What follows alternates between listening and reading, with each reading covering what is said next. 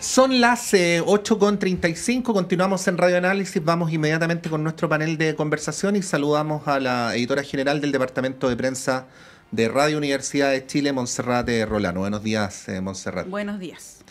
Y también eh, saludamos a nuestros panelistas de Faro de John Enríquez. John, bienvenido, muchas gracias por estar acá. Vamos a ver ahí si John nos escucha. Pero por el otro lado, vamos a ver si Camila Miranda de Nodo 21 nos escucha. Buenos días, eh, Camila, ¿cómo estás? Ya, el problema es nuestro, salvo que tengamos ahí una, mala coincidencia. Eh, ahí, Camila, ¿nos escuchas? Buenos días, Camila, entonces. Buenos días. Sí. Eh, y a John Enríquez, bienvenido, John. Buenos días. Buenos días, ¿cómo están? Muy bien, muchas gracias. Sí, buenos días eh, a ambos em, en esta mañana y día frío, ¿ah? porque va a estar frío todo el día.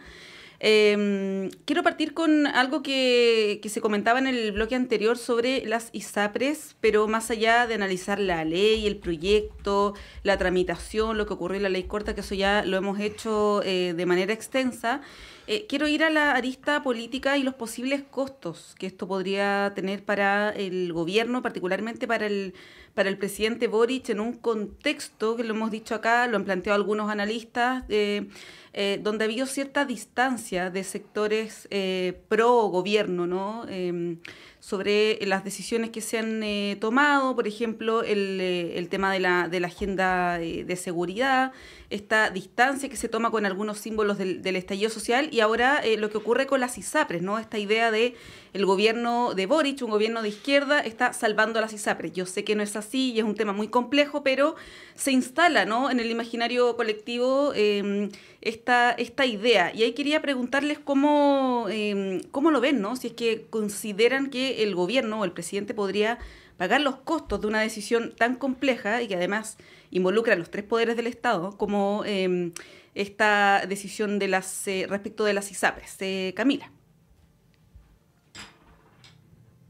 A ver, yo creo que, que, en el cuadro más general, por supuesto que el presidente, desde que se proyecta como un liderazgo que busca ciertos cambios y cambios bastante claros, bien declarados, eh, al asumir gobierno y tener que navegar en estos tres años bastante álgidos en el país, por supuesto que está pagando costos. Yo creo que eso es parte de, de, hacer ejercicio de, ese rol público que tiene como presidente de la República. Ahora, en el caso específico de, de las ISAPRE, eh, que como tú lo dices, hay una discusión abierta si cuánto es salvataje, cuánto no. A mí me gusta esta idea que plantea eh, Juan Carlos Saí cuando dice ganan y pierden a la vez, eh, como para tratar de explicar de alguna manera qué es lo que sucede con la tramitación de la ley corta, pero en la larga yo creo que va a estar más bien evaluado por si logra fortalecer FONASA, eh, porque en definitiva lo que no se hace con la regulación de la ley corta es asegurar condiciones estructurales para la ISAPRES, que yo creo que eso hubiese sido efectivamente ya hacer una concesión demasiado grande en términos de los planteamientos del sector. Entonces creo que ahí hay que marcar una diferencia importante y creo que va a tener que ver con la posibilidad de equilibrar entonces la dimensión del ejercicio de la responsabilidad, que tenía que ver con no exponer el sistema de salud, que no solamente es para quienes están en la ISAPRE, sino lo que significaba para FONASA absorber una posible crisis de ese tamaño, que tampoco significa, eh, insisto, que las ISAPRES tengan aseguradas las condiciones para funcionar más adelante, pero creo que la medición va a tener más que ver con la posibilidad de que luego que termine este gobierno, FONASA tenga otra entidad, se haya logrado modernizar, efectivamente se hayan implementado los compromisos que se hicieron en el contexto de esta negociación, que tenía que ver con este modelo complementario de salud y otros mecanismos que permitían efectivamente empezar a pensar que así como se posterga la crisis de alguna manera la ISAPRE, eh, hay que estar preparado para esa crisis.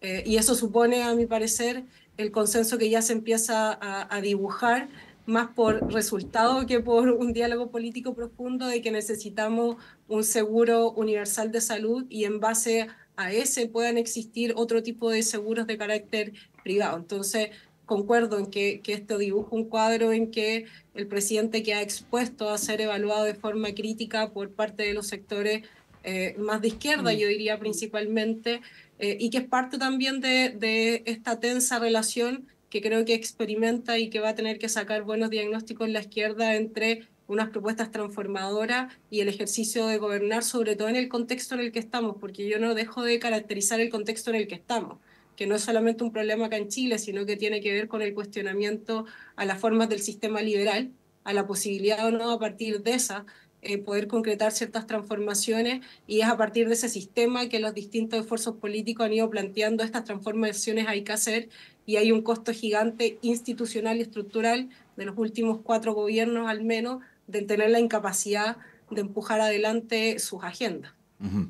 Sí, vamos a volver a eso, Camila, porque es un tema súper interesante. ¿ah? John, te quiero hacer la misma pregunta, eh, pero incluyendo además a la derecha, porque de, la derecha se ha dicho otra cosa, ¿no? Se ha dicho que, digo, algunos, no digo todos, eh, eh, que en algunas acciones, en algunas declaraciones, en todo este proceso, parecían más interesados en salvar a las ISAPRES que en buscar una solución, por decirlo de alguna manera así general, de bien común. ¿no? Eh, ahora que se cierra el episodio de la ley corta y se abre necesariamente el de la ley larga, eh, eh, uno esperaría ver cuáles son las posturas de la derecha a ese respecto. ¿no?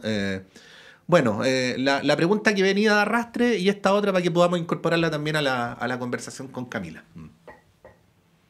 A ver, yo creo que primero hay que tener presente que, la ley corta es resultado de dos factores en, conjunto. Uno, la inacción del sistema político, eh, no solamente en materia de salud, sino que en muchos temas que nos ha llevado hasta crisis, eh, en, en parte en el sistema de ISAPRES, pero también en parte del sistema de FONASA y también el fallo de la Corte Suprema.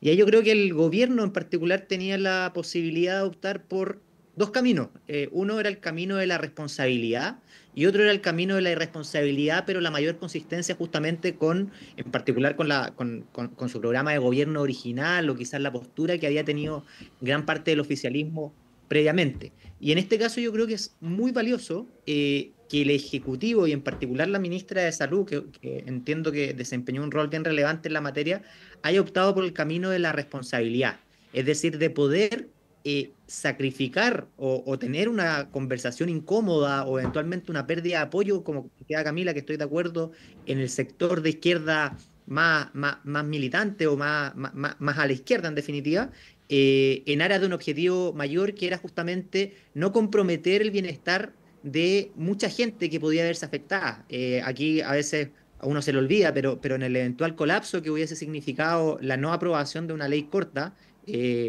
no solamente iba a afectar a quienes están afiliados a, las ISAPRES, sino que también podía tener un impacto en las personas que están hoy día en FONASE y que recurren a prestadores privados y al mismo tiempo la, saturación de los sistemas de salud eh, de FONASA. Entonces yo creo que en ese sentido em, habrá que ver en un par de semanas más cómo, cómo, cómo, aparecen las encuestas, pero, pero el, el gobierno en particular pierde por un lado pero al mismo tiempo creo yo que ganan confianza también por el lado de las personas de centro izquierda, de las personas de centro, incluso también de personas de derecha que, que si uno le hubiese preguntado dos años atrás si hubiese pensado que el Ejecutivo impulsar y negociar una reforma de esta naturaleza, eh, por más que sea una ley corta y una ley eh, en, cierto sentido eh, de, de, reacción a, un colapso inminente, no lo hubiese imaginado. Y después respecto a, a la discusión más de fondo respecto al sistema, yo espero, sinceramente, que, haya una discusión profunda respecto a la reforma del sistema de salud eh, y que esté fundamentalmente basada en la técnica. Eh, aquí yo creo que para que haya una reforma importante eh, que, se, que se requiere, sin perjuicio de que nuestro país, al menos en la pandemia, demostró estar bien, bien, bien preparado a nivel de infraestructura, la coordinación pública-privada en, esa, etapa fue fundamental. Eh, se requieren todavía ajustes relevantes para efectos de mejorar la calidad, de reducir los costos fundamentalmente en el sistema de salud y para ello se requiere desde luego flexibilidad de todos los actores políticos involucrados y que se legisle en base a, la evidencia. Yo, creo que algo que, que, puede aprender el actual Ejecutivo, que, que muchos de, las personas que integran el Ejecutivo son de la primera vez que están asumiendo cargos de, gobierno, eh, es que eh, los los slogans o, las bajadas comunicacionales muchas veces son efectivas para efectos de conseguir ciertos objetivos políticos, pero la realidad es mucho más compleja que a ellos. Entonces, es un desafío no solamente para ellos, sino que también para todas las personas que de cierta forma participan en el, en el mundo político, de que em, no basta con diagnósticos simplistas, sino que se requiere tener una mirada eh, integral a los problemas y, desde luego, en la construcción de las soluciones se requiere mucho, mucho diálogo y justamente esas miradas que son más bien eh, efectistas o, parciales, eh, muchas veces terminan dificultando el diálogo y la construcción de acuerdos. Mm. Ahora, eh, Camila, John, esto está directamente relacionado con algo que va a ocurrir en dos semanas más que es la tercera cuenta pública, mensaje presidencial y probablemente, no, no probablemente, la última donde el presidente Boric va a poder hacer eh, algún eh, anuncio, ¿no? Recordemos que las veces que el eh, presidente ha entregado este mensaje al país ha sido donde mayor aprobación se ha traducido en, distintos sondeos de, de, opinión. El año pasado fue muy, fue muy claro en un mensaje que además fue bien extenso. Em, y aquí se instala una duda y una diferencia también en el oficialismo entre quienes plantean que el gobierno debiera cumplir su programa eh, de gobierno, dar algunas señales también a este sector, pongámosle el 30%, ¿no? Eh, y quienes plantean que debiera haber una cuota de realismo y priorizar otras iniciativas, por ejemplo, la agenda de seguridad. Eh, ahí les pregunto, Camila, ¿Cómo llega el presidente a esta tercera cuenta pública y qué sería esperable en este contexto, ¿no? cuando hay esta especie de em, tironeo o diferencia dentro del oficialismo y uno lo, observa harto en parlamentarios, ¿no? Eh, que plantean, bueno, el gobierno debiera ceñirse eh, a su programa y em, continuar ¿no? con, con el objetivo y el programa em, eh, que comprometió a la ciudadanía y otros que plantean que esto debiera adecuarse. ¿Cómo, ¿Cómo lo ven, Camila? Solo un comentario antes sobre la vuelta pasada.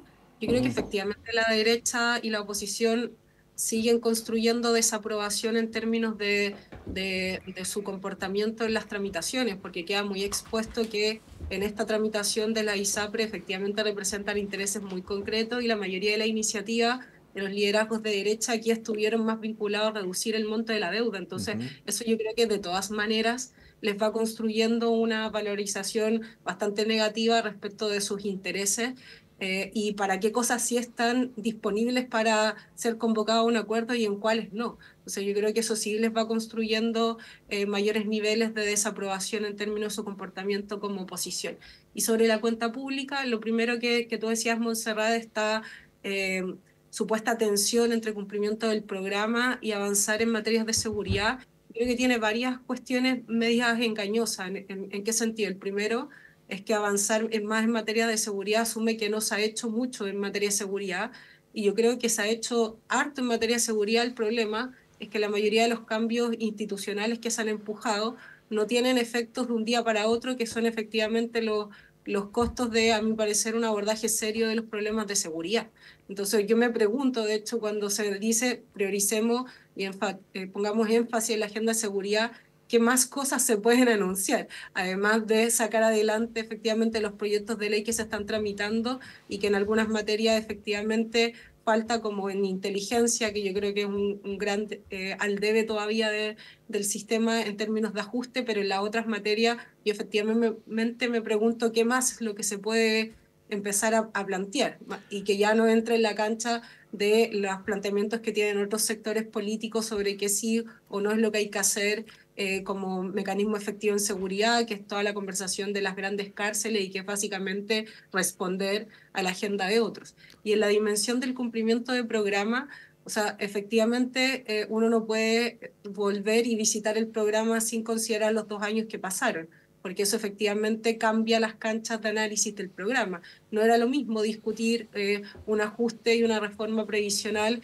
con un cambio constitucional que en el contexto en el que estamos teniendo esta conversación, que de alguna forma nos retrotrae al intento de acuerdo muy dificultoso entre sectores que tienen posiciones muy distintas sobre eh, cómo abordar el sistema previsional, que es la situación en la que estamos, digamos, entrampados y entrampadas todavía en el Congreso. Entonces, teniendo que sujetar, a mi parecer, la valoración o no del programa a lo que ha pasado estos años, sí yo creo que un gobierno no puede renunciar más allá de las circunstancias en las que les toque gobernar, a poder, si tiene los espacios, empujar eh, los compromisos que le parecen relevantes, no solo porque sean relevantes para un sector, sino que los planteó al país y eso le entregó votos en el sentido que logró instalar que eran cuestiones eh, principales, por ejemplo, el sistema de cuidado. Yo no veo cómo eso sea un guiño específico a un 30%, al contrario, es un sistema que se requiere no solo porque a nivel global demográficamente es el dilema que vamos a experimentar o que ya está haciendo crisis por los cambios demográficos, pero también porque en términos de avanzar en igualdad concreta, eh, la desigualdad de las cargas de cuidado en las mujeres es muy alta, entonces yo no veo que esas, por ejemplo, que son compromisos que tienen espacio transversal también en la política, tengan que verse pospuestos en una suerte de tensión entre programa y seguridad. Lo mismo creo que en otras dimensiones de educación y salud al gobierno le corresponde, si tiene los espacios, tener que tener la posibilidad de plantear esos temas y ojalá sacarlos adelante. Y que no solo bueno para la evaluación posible del gobierno, sino que justamente eh, porque varios de estos planteamientos tenían que ver con diagnósticos de qué cosa estaban siendo problemáticas en nuestra sociedad. Entonces yo creo que también ahí se eh, pone un componente de responsabilidad. Entonces más bien yo creo que lo que está detrás de esta tensión eh, tiene que ver con eh, la idea de dibujar ciertos sectores dentro del oficialismo que tendrían preocupaciones más de tipo país y otras que tendrían una preocupación más de tipo estar tranquilos con su sector. Y yo creo que es, es una falsa dicotomía que mm. quizás es muy útil en términos electorales, pero en términos de la conversación del papel que tiene el gobierno respecto a su programa y de la urgencia de seguridad, creo que nos ayuda mucho a, dibujar cuál debería ser el camino del anuncio. Sí, déjame, déjame comentarte algo al respecto, Camila, y ya vamos a ir a, vamos a, ir a John. Eh, tú dices, eh, no sé qué más podría hacer el gobierno en materia de seguridad pública eh, y que además algunas de las medidas que se han impulsado no tienen resultados en el corto plazo. No digo que sea exactamente lo contrario, pero más o menos aquí en la radio nos hemos quejado de lo contrario. Es decir, que por lo general la discusión política y legislativa tiene que ver con muchas cosas coyunturales, literales, las policías, la ley Naín Retamal, y no respecto a las necesarias transformaciones institucionales para poder enfrentar el crimen organizado. Entonces quiero mencionar algunos ejemplos. Yo sé que se está discutiendo legislativamente, pero, pero ley de inteligencia nueva todavía no tenemos, ¿no? Eh, reforma aduana no tenemos secreto bancario, levantamiento del secreto bancario, no tenemos. Eh, reforma a las policías, que era un tema muy sentido para el oficialismo, está completamente eh, congelado. congelado, ¿no? O sea, de hecho ayer fue la ceremonia... Los anteriores tampoco en el Congreso, a eso me refería que no puede anunciar, voy a hacer otro proyecto de ley. No, no, pero ahí, voy, al, sí, ahí voy al punto, Camila, y te devuelvo la palabra, porque una, cosa, una de las cosas que se han dicho desde la oposición es que por las razones que sean, el gobierno ha enfatizado comunicacionalmente mucho en estas cosas más policiales, más inmediatas, y menos en esta agenda más general, ¿no? Eh, bueno, ¿qué podrías decir al respecto? Bueno, como para darle continuidad y también como para favorecer la, conversación, si se quiere, llevándote un poquito la contra, pero para favorecer el análisis. Mm. Sí, o sea, espera, yo estoy de acuerdo en que no se ha hecho todo lo que eh, sistémicamente se requiere para enfrentar los dilemas de seguridad que tenemos. Eh, una dimensión es la, legislativa, donde bueno, las dificultades son bastante evidentes. Yo me refiero en términos de sumar más elementos a los anuncios. Yo creo que lo de reforma policial tiene un problema de, de, primero de espacio político para esa conversación. Yo soy una convencida que uno no puede hoy día enfrentar el problema de seguridad sin modernizar a carabineros, eh, pero también hago un análisis de la situación en la que estamos, donde cualquier tipo de esa conversación parece ser deslegitimar a las fuerzas policiales. Y vimos hace dos semanas o tres semanas un intenso debate si el estallido seguía teniendo responsabilidad en la legitimidad o no de las policías para efecto del homicidio en Cañete. Entonces, creo que en ese, ese cuadro no, no, o sea, yo no veo agua en el escenario para esa conversación. Eh, yo creo que hubiese sido eh, un impulso relevante vinculado con el proceso constitucional.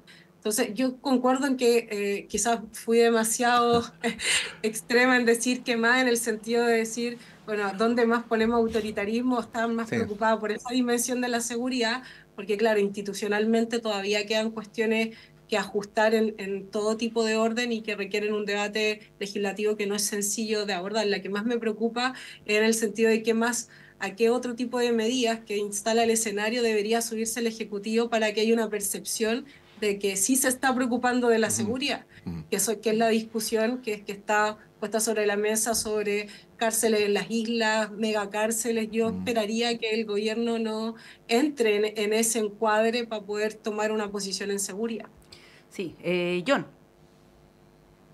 A ver, yo, yo, creo que eh, coincido primero con, con Camila que, que, los programas por definición eh, pueden ser objeto de modificaciones en su transcurso, en su implementación, y eso es natural y es razonable que ocurra porque la, la, las preocupaciones o los problemas que tienen los países van cambiando conforme pasa el tiempo. Un ejemplo de ello es eh, cómo cambió, cómo mutó el programa el presidente Piñera eh, uno después del terremoto.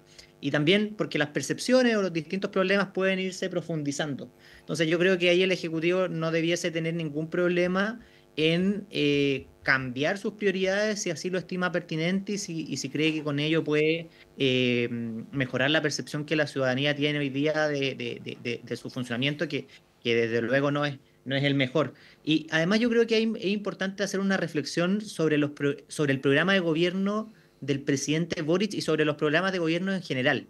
Eh, cuando el presidente Piñera gobernó en su segunda oportunidad, eh, muchos decían que el programa de gobierno no, o sea, eh, na nadie, nadie planteó la idea de, de, continuar con el programa de gobierno post estallido social y post pandemia porque las circunstancias hayan cambiado y ahí creo yo que el actual oficialismo debiese hacer alguna reflexión sobre esa materia. Y respecto al programa de gobierno original del presidente Boric, creo que la pregunta que hay que hacerse es si, el si ese programa fue excesivamente maximalista o, o ambicioso de alguna u otra forma.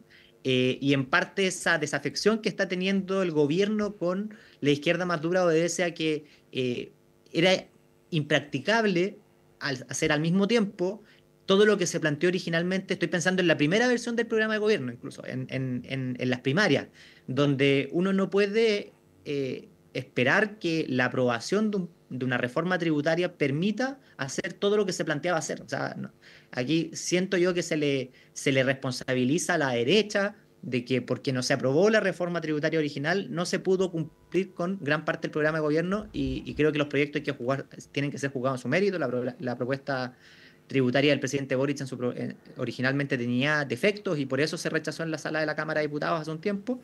Eh, y por lo mismo creo que, creo que hubo un desajuste de expectativas y creo que se sabía al interior del Ejecutivo que no se iba a poder avanzar tanto en tantas materias eh, con cambios tan profundos como se, como se planteó la ciudadanía en su momento y eso desde luego genera mucha frustración.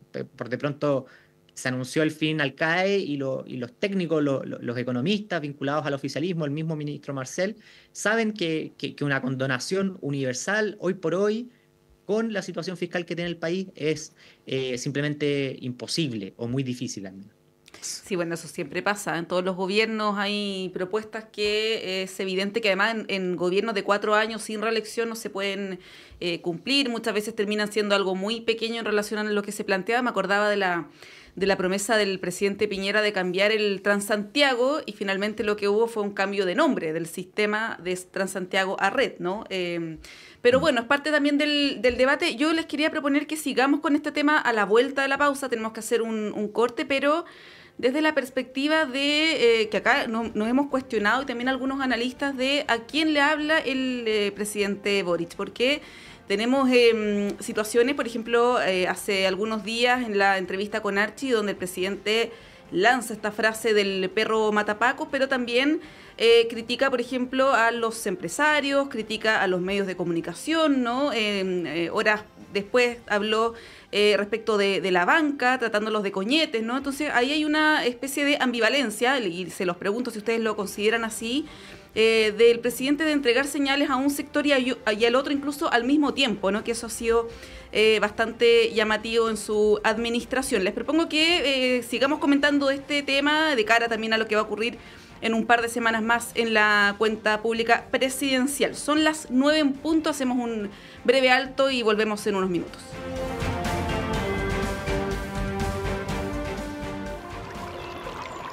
Aguas Trayén o cascada en Mapudungún es la mejor agua purificada con tecnología de última generación. Para más información, visite su página web www.aguastrayen.com.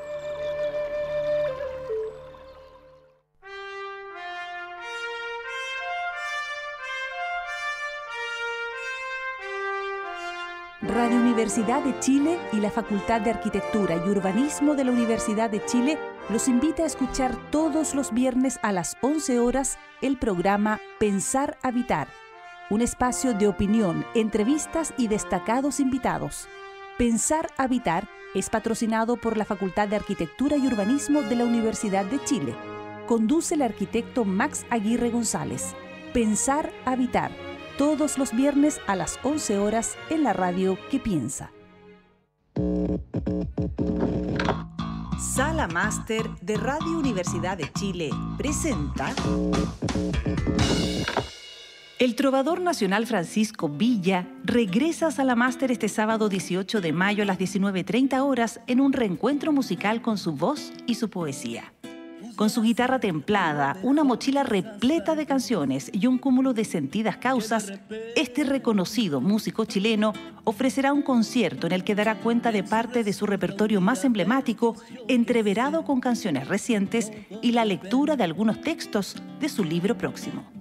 Invitada especial la talentosa cantautora Camila Chascona. Los dejamos invitados a disfrutar del canto y la voz de Francisco Villa en Salamaster, Miguel Claro 509, Providencia. Sábado 18 de mayo. Apertura de puertas 19.30 horas. Inicio del show 20 horas en punto. Entradas disponibles en portalticket.cl y más información en www.salamaster.cl.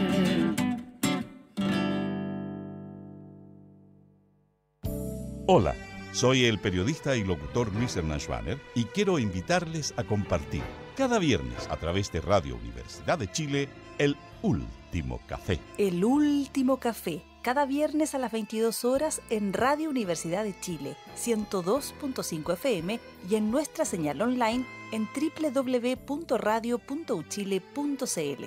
Recuerde, el último café, cada viernes a las 22 horas la radio que piensa. Usted está invitadísimo a compartir con nosotros El último café.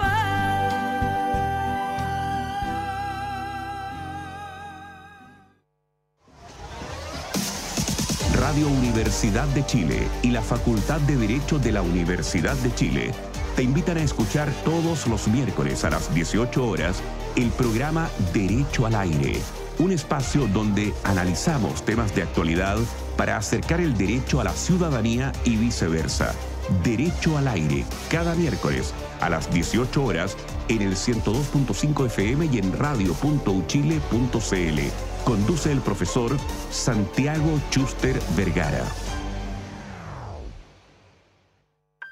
Estás escuchando Radio Universidad de Chile, la emisora insignia de la música chilena, reconocida como radio fundamental por la SCD 2024.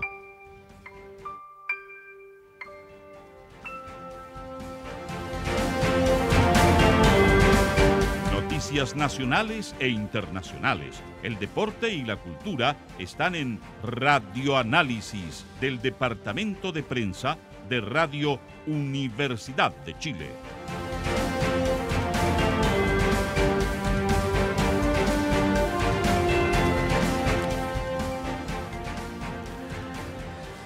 Son las 8 con 5, está muy interesante la conversación con eh, Montserrat Rolano, con John Enríquez y con Camila, pero permítanme antes de retomarla hacer un breve paréntesis eh, porque em, tenemos unos regalos para ustedes. Eh, el Ballet Nacional Chileno de la Universidad de Chile eh, está dando el vamos eh, o el punto de partida su temporada 2024 con una obra fantástica que se llama Moonrise, eh, que es eh, creación del versátil y multifacético artista sueco Portus Lidberg, eh, quien llega por primera vez a nuestro país para crear junto a esta compañía de danza.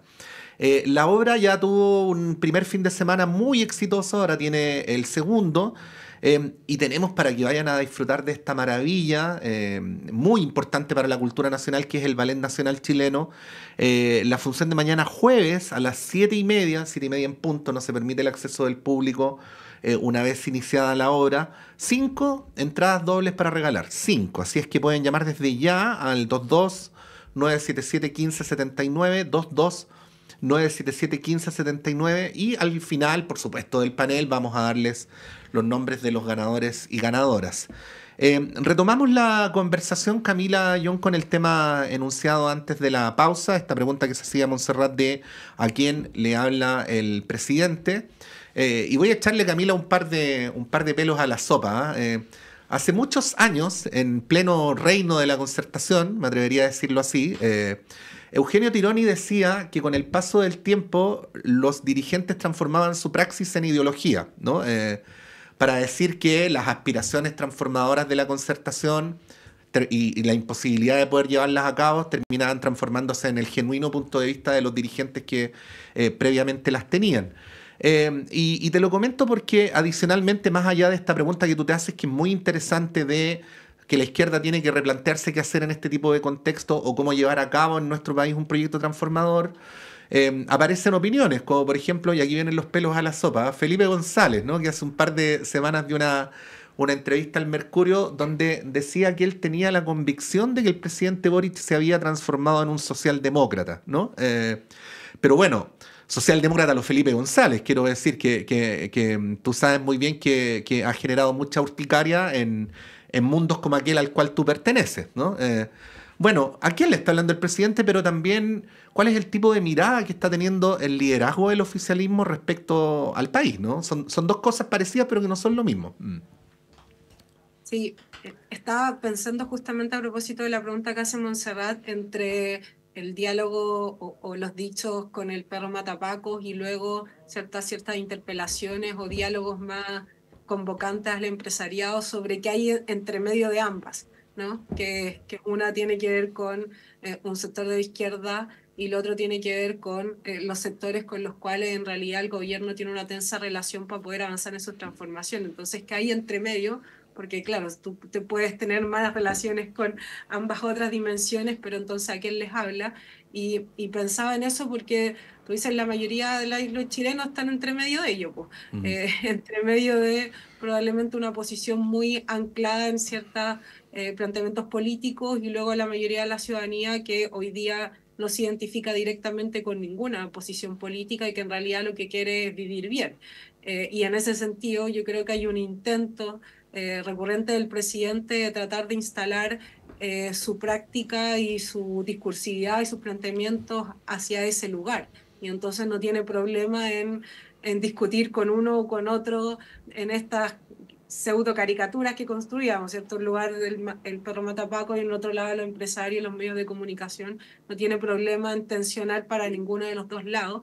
Eh, cuando mirado quizás desde una perspectiva política militante, tú dices, claro, hay que definir para quién se gobierna muy, más concretamente, quién tiene cerca y quién no. Yo creo que ha, habido permanentemente ese ejercicio en el presidente de, de salirse de ese encuadre y eso por supuesto genera muchas tensiones en el sector. Pero yo veo eso como un intento de salirse de ese encuadre y no tener problema de tensionar hacia ningún lado con tal de tratar de dibujar un camino de lo que planteaba el presidente. Justo me acordaba en la cuenta pública pasada, que él empezaba a dibujar esta idea como, no me acuerdo si era sociedad de bienestar o estado de bienestar, y le trataba de poner algunos elementos de lo que él creía o, eh, planteaba como una suerte de orden, como orientador digo, para dónde dibujar lo que se podía hacer o no hacer desde el gobierno como un encuadre. Yo lo veo en ese ejercicio al presidente y eso, por supuesto, insisto, produce muchas tensiones, eh, pero puesto, digamos, la tensión en, en los compatriotas que tenemos, eh, donde las preocupaciones son las que son, eh, habría que preguntarse si está siendo efectivo o no en ponerse en ese lugar y no reafirmar cierto una posición, porque para algunos efectivamente lo, lo, que quizás debería primar en una figura es cierta consistencia permanente y de ahí toda la discusión de si el presidente ha cambiado sus convicciones de inicio o no. Eh, y para otro eso se ha evaluado como el, solo el ejercicio de gobernar o el, el, principio de la responsabilidad o la posibilidad de tener un liderazgo que tiene la capacidad o la flexibilidad para hacerse preguntas, cuestionamientos y cambiar eh, sus posiciones. Yo creo que está en esa tensión de tratar de construir una relación a ese mundo que no está determinado políticamente eh, y que tiene entonces costos altos también para el sector político en el sentido de que hay ciertas líneas que no se ven coherentes con los planteamientos previos. Creo que está en esa atención, creo que la cuenta pública la pregunta de la que se le habla es sumamente relevante. A veces se resuelven las cuentas públicas desde a quién le están llegando las medidas que se anuncian y termina siendo una forma cierto positiva de decir, bueno, si anunciamos sistema de cuidado, estamos hablando a todas las cuidadoras y los cuidadores de Chile y eso te ayuda a construir un sujeto o una sujeta, pero lo que está en juego a mi parecer, más allá de eso, y que es la tensión que decía entre la izquierda estando en este tipo de posiciones, es cómo construye mayoría eh, sin renunciar a los presupuestos de, eh, por dónde eh, construir ciertas, ciertas transformaciones, que no es decir con la ideología resuelvo todo, sino que es no dejar de asumir que uno en política, las decisiones que toma están orientadas por una visión de la sociedad y que a veces esa se, se esconde y se dice ideología y se estigmatiza, pero en realidad todo hay muy poca objetividad en, en, el espacio deliberativo, todos tienen una visión de sociedad respecto de la cual o en la cual circunscribe, por ejemplo, si me parece bien esta reforma de pensiones o esta otra. Yo creo que ahí están un poquito las tensiones y, el ejercicio que intento ver o analizar qué hace el presidente. Sí, todos los debates que, que damos acá, por cierto, en, las mañanas son profundamente ideológicos, ¿no? El tema de la salud, el sistema de salud, de seguridad, en fin, y un, largo, etcétera. Ahora, eh, John, eh, claro, ahí uno se pregunta si es que el presidente se beneficia de estos guiños que hace cada cierto tiempo, por ejemplo, a la oposición, ¿no? Porque se ha visto que en la oposición no le han concedido nada o muy poco al, presidente, incluso cuando él le toma eh, posturas más conciliadoras, ¿no? Eh, lo vimos, por ejemplo, en el caso, bueno, podría citar varios, ¿no? Pero quizá el más emblemático, eh, luego del fallecimiento del, del presidente Piñera, pero em, le genera costos con su propia base de apoyo. Y eso es una tensión, como dice Camila, que es compleja de poder ahí eh, maniobrar. ¿Cómo, ¿Cómo, lo ves? A ver, yo creo que los, los liderazgos em, en nuestro país y en todas partes del mundo, en verdad, requieren siempre consistencia. Eh, y la consistencia, y lo planteaba muy bien la Camila, eh, significa tratar de tener un relato que al mismo tiempo genera dos virtudes que son bien especiales y, son indispensables para la construcción de, acuerdos, porque la consistencia no significa ser completamente inflexible. Eh, al revés, uno puede cambiar de opinión y uno puede negociar, pero cediendo, pero uno tiene que ser consistente justamente con el mensaje y los beneficios que se generan son, uno, que mejora la credibilidad de los liderazgos, y yo creo que hoy día el presidente Boric tiene justamente una dificultad en la credibilidad de su mensaje, porque el cambio ha sido justamente eh, más, más intenso o más radical de lo que uno hubiese pensado. No, no, no, ha sido una mutación eh, bastante intensa en ese sentido y al mismo tiempo le quita predictibilidad a sus acciones, eh, en el sentido de que uno no sabe bien si es que mañana puede venir una reforma tributaria como a él le gustara, estoy inventando un impuesto al patrimonio nuevamente, por ejemplo, o si va a venir una reforma para modernizar el sistema de permisología y para desregular si uno quisiera decirlo de alguna u otra manera. Eh, una idea completamente antagónica eh, a, lo que él quizás piensa hoy día que debiese hacerse.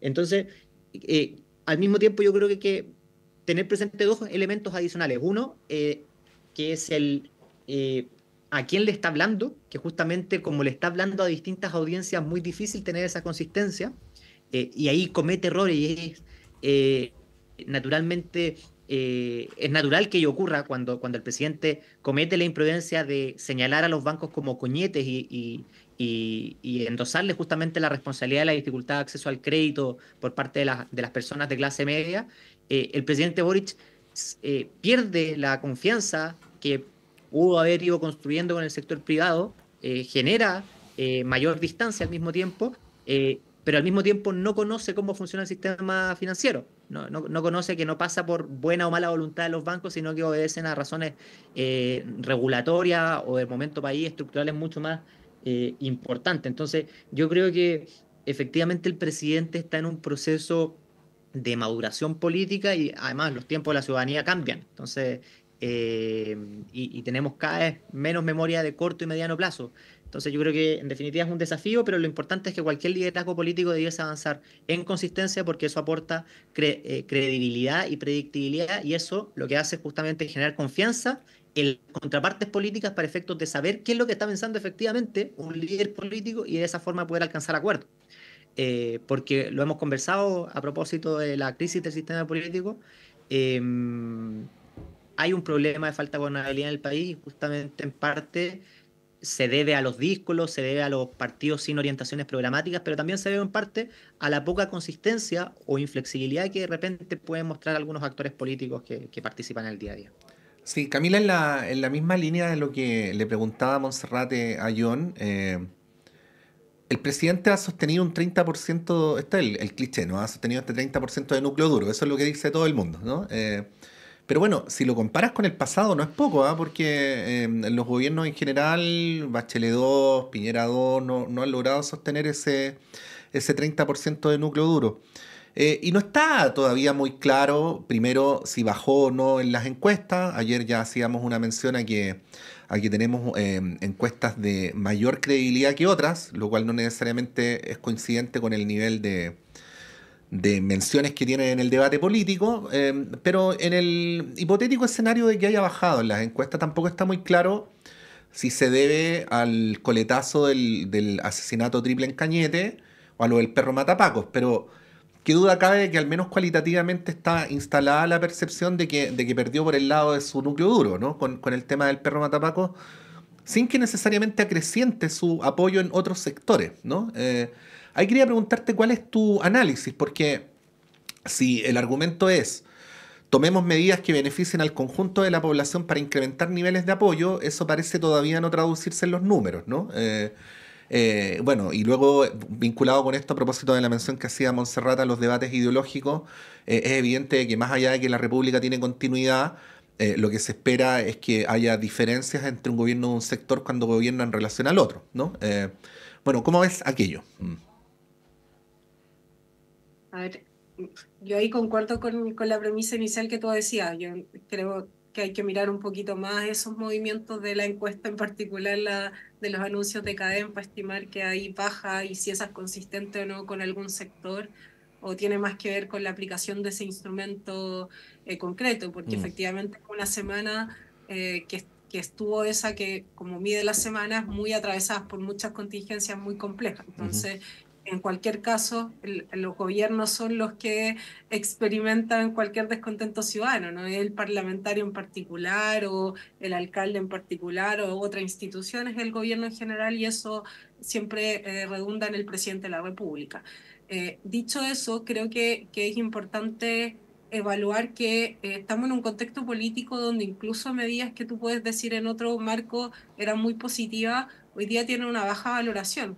O sea, hay medidas que, que yo creo que han sido contundentes, como salario mínimo y otras, pero que no necesariamente significan una crecida en la valoración de la opinión pública respecto del gobierno. Y yo creo que esa es una tónica ya media, espero no estructural, pero un poco permanente en, en el estado de la política de los últimos años, donde es muy difícil eh, que alguna medida tenga una gran valoración ciudadana que cambie los niveles de apoyo y al contrario lo que se va profundizando son mayores niveles de, de enojo y molestia con la política, haga lo que haga. Entonces ah, yo creo que está ese componente como como medio instalado, entonces cuando tú dices qué podría hacer el gobierno para aumentar o no la aprobación, no sé si haciendo algo muy, digamos, distintivo pueda modificar esas valoraciones. Ahora, es- Eso es medio fatalista, ¿no?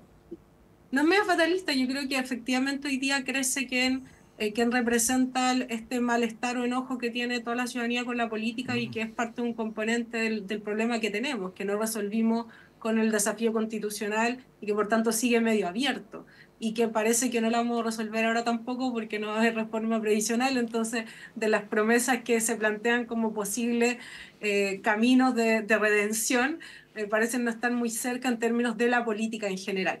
Ahora, creo que el gobierno, en términos de sus bases de apoyo, eh, yo creo que, que hay, que hay todo un sector que se ha visto afectado y que creo que tiene que, que ver con el diagnóstico que hay que hacer calibrado luego de, de este gobierno en, en la dimensión de la agenda de seguridad, principalmente, eh, y que tiene que ver tanto con la discusión de Ayn Retamal como efectivamente la, el, el, yo no diría si desconozco o no el, el, estallido, yo creo que es más bien de darle una señal de distancia respecto de ese proceso para poder dar una señal quizás más de gobernabilidad hasta todos los sectores que esperan que el gobierno asegure condiciones de seguridad para todos y eso genera tensiones evidentemente. Yo creo que a mi parecer el camino tendría que estar más en la clave de eh, enfrentar la no incompatibilidad entre un planteamiento de izquierda y el planteamiento de seguridad, porque lo uh -huh. contrario es reafirmar ¿cierto? la dicotomía que te ponen al frente de eh, usted está con esto, entonces no está con estos otros,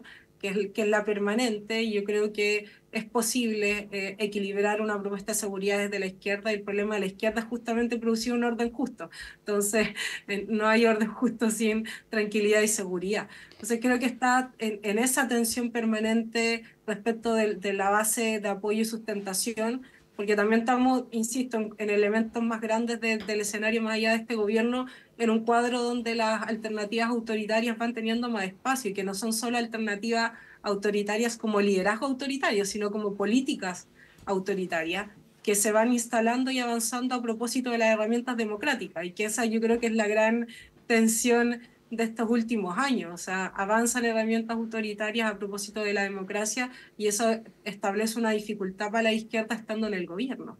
Eh, creo que entonces veo que es imposible que no se profundice cierta tensión con la base de apoyo, dado ese cuadro.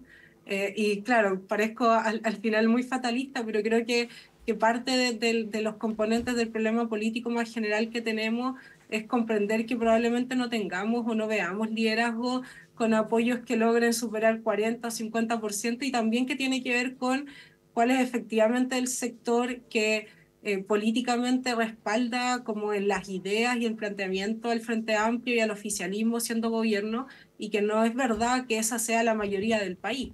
Eso sería eh, no mirar bien cómo fue la segunda vuelta presidencial.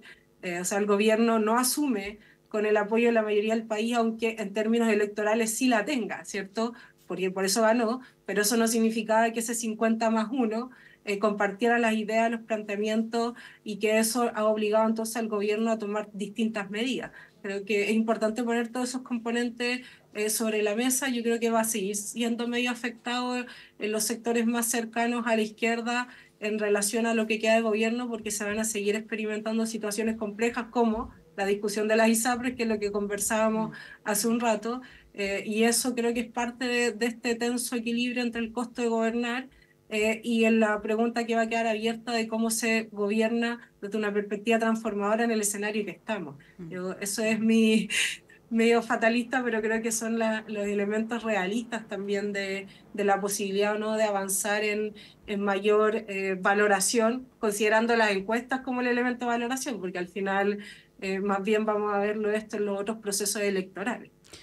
Sí, los quiero llevar a otro tema que no se vincula directamente, pero tiene relación con algunas eh, cosas que hemos comentado, que es eh, la oposición, pero particularmente con algunas eh, iniciativas, con algunos proyectos bien eh, cuestionados. ¿eh? lo hablábamos las semanas pasadas, las semanas pasadas a propósito de esta iniciativa que busca em, una amnistía para carabineros que hayan sido condenados o estén procesados por violaciones eh, a los derechos humanos y ocurrió esta semana eh, una situación que pasó media colada entre todo el debate de las ISAPRES, ¿no? Eh, que es una norma, que es una moción de parlamentarios eh, de Chile, vamos, que permite a presos por causas de derechos humanos cumplir condenas en sus casas. Esto estaba eh, o el espíritu ¿no? de esta norma estaba contenido, por ejemplo, en el segundo texto constitucional que se rechazó, al igual que el tema de la reposición de la justicia militar. Eh, y ahí yo te quiero preguntar, porque hemos hablado críticamente del oficialismo, incluso autocríticamente desde la perspectiva de, Camila, pero en la oposición parece que no han recogido el mensaje, por ejemplo, de lo que ocurrió en diciembre del año pasado. Se ha criticado mucho al oficialismo eh, de que tiene un proyecto refundacional, eh, que intenta insistir con algunas ideas fracasadas, como en el tema de pensiones, por ejemplo, pero lo que se ve en la oposición o las oposiciones es que se insiste también con ideas eh, que incluso son eh, atentatorias respecto de tratados internacionales, ¿no? y bueno, y mínimo civilizatorio si uno considera el tema de, los de los derechos humanos. Eh, ¿Cómo ves ese escenario, más allá de este proyecto en particular, que sabemos que es muy probable que no, eh, que no tenga una mayoría en, el Congreso? Yo, en lo personal siempre he sido eh, bien prudente respecto a tratar de identificar cuáles son las causas por las cuales, por ejemplo, el, el proyecto de la Convención Constitucional fue rechazado. Yo creo que ahí había multiplicidad de causas y a muchas personas una o varias teclas del proyecto lo, motivaron a, votar rechazo. De la misma forma, me parece difícil eh, sacar del debate público necesariamente porque haya estado contenido una idea matriz en, la propuesta del Consejo Constitucional, porque eh, tampoco hay certeza de cuáles fueron efectivamente las razones que llevaron al 55% de la población a no apoyar la propuesta del Consejo. Seguramente fue eh, los cambios en, la norma del derecho a la vida, pero no, sé qué, tan, qué tanto impacto pudo haber generado justamente el debate de la denominada norma Puntapeuco original, que mm. después fue matizada. Eh, respecto al tema de, de, de fondo, yo creo que, bueno, revisé, revisé la indicación y a mí este tipo de normas me genera dudas, eh, dudas genuinas, en un sentido de que, eh, por una parte, yo creo que es razonable pensar que una persona que, que tiene más de cierta edad y que está en un estado terminal pueda cumplir justamente sus condenas eh, en sus casas por un tema de humanidad. Y entiendo que hay tratados internacionales también que habla de que hay que tener especial cuidado o protección con las personas de tercera edad. Eh, pero al mismo tiempo me genera dudas porque hoy justamente buena parte de, las personas que están en esa situación fueron condenadas por delitos eh, de, de lesa humanidad. Y esos delitos, desde luego, que son especialmente delicados eh, y son especialmente sensibles para, para, muchas personas y con justa causa. Entonces, en principio no tengo una posición tomada respecto a la conveniencia o inconveniencia de la aplicación de la medida hoy día. En régimen general sí me parece razonable que existan eh, la posibilidad, por ejemplo, de cumplir la condena em, en, en, la casa eh, cumpliéndose los requisitos establecidos en la ley y siempre que un juez así lo determine y dependerá justamente el caso a caso. Sea, yo creo que no se puede hacer una, una determinación. Todos los mayores de X edad pueden cumplir la condena o no, sino que tiene que ser dependiendo del caso a caso, teniendo presente las circunstancias particulares de las personas, etcétera, etcétera. Y, aquí me gustaría hacer un punto adicional. Eh, puede que la información que, yo maneje no sea la, precisa, pero por lo menos por lo que constaba en la prensa, eh, la indicación que se aprobó es mucho más intensa que la aprobación, que la, que la norma que finalmente aprobó el Consejo Constitucional. Em, la discusión que se generó en el Consejo Constitucional fue al comienzo, cuando se presentó la indicación por parte del Partido Republicano, pero después en la comisión mixta o en, o en la última parte del proceso constitucional, esa norma se atenuó. ¿Qué es lo que plantea la indicación que se aprobó en el, en, el Congreso esta semana? Más allá de hecho de que eh, el oficialismo plantea que justamente esta, esta iniciativa debiese ser eh, declarada inadmisible porque se rechazó un proyecto con una idea matriz similar por, por la sala del Senado hace un tiempo atrás, menos de un año, lo que plantea es que se va a conceder libertad condicional en la medida que se tenga más de 75 años o que exista, y que exista una enfermedad terminal o eh, que genere una inhabilidad, una, inhabilidad tal que, que, que, que, proceda en este caso. Lo que el Consejo Constitucional propuso finalmente es algo facultativo, es decir, las personas podrían solicitar, en, en el caso del Consejo Constitucional, y era reclusión domiciliaria total, no es libertad condicional. Entonces, eh, es distinto el mm. concepto ahí. Yo creo, en este caso, me inclinaría, si es que uno tuviese que aprobar en abstracto una norma, creo que es mucho más sensata la norma que proponía el Consejo, que la que está en discusión ahora, eh, y al mismo tiempo exigía dos cosas. Uno, estar en estado terminal, em, eh, y en segundo término, que la persona no constituye un peligro para la sociedad, porque aquí también es un tema que hay que tener súper, súper presente. Entonces yo creo que que es una norma que efectivamente genera mucha polémica, eh, que, es un debate que yo creo que se debiese tener, pero quizás no en este momento, eh, y que justamente hay que conciliar, uno, la, soberanía que tiene nuestro propio país de autofinanciamiento fijarse sus normas, pero también tener presente que estamos insertos como país en, eh, en el mundo y que tenemos que respetar también todos los tratados que hemos suscrito. Entiendo que también hay tratados que, que en parte irían en contra a la idea matriz de, de- de esta iniciativa, eh, porque no nos queremos ver afectados en el, en el concierto internacional justamente de, de nuestra credibilidad, nuestro prestigio en materia de respeto a los derechos humanos también. Sí, ¿eh, Camila. Sí, solo un, o sea, más allá de- del análisis jurídico de la norma, o sea, primero no hay que dejar de constatar que esto se aprueba en una comisión de seguridad por justamente puros cuatro parlamentarios de derecha, porque tienen la mayoría en la comisión y se hace en un cuadro donde se ha señalado abiertamente que hay ciertas prioridades para combatir crimen organizado, para enfrentar el fortalecimiento carabinero y en realidad lo que se, en lo que se avanza tiene que ver con una medida que asegura condiciones de impunidad y que a mi parecer eh, tiene un estándar bastante tenso entre la idea de megacárceles y meter a todas las personas posibles en una política así. Por otro lado, hay otro tipo de, de delincuentes que tienen la posibilidad, ¿cierto?, de tener condiciones más favorables de trato.